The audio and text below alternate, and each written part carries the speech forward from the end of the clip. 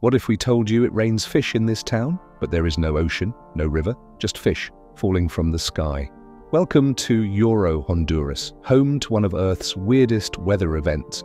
Locals call it Lluvia de Peces, the rain of fish. Every year between May and June, after brutal thunderstorms, dozens, sometimes hundreds, of silver fish are found flopping in streets, fields, and puddles.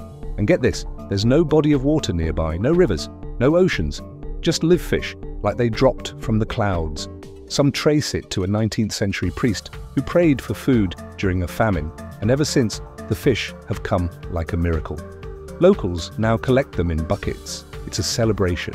But what's really going on? Some scientists think water spouts or high winds suck fish from far off rivers and dump them inland. But here's the kicker the fish in Yoro aren't even native to nearby waters.